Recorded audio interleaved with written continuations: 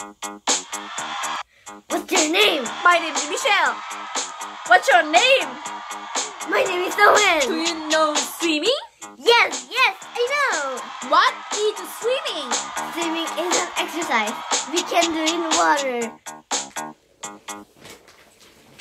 Can you tell me about swimming more? Oh, okay. You can do in a ocean. Or in a swimming pool. Some people swim in competition and races.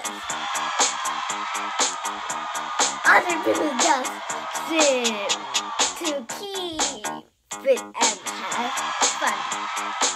Bye bye.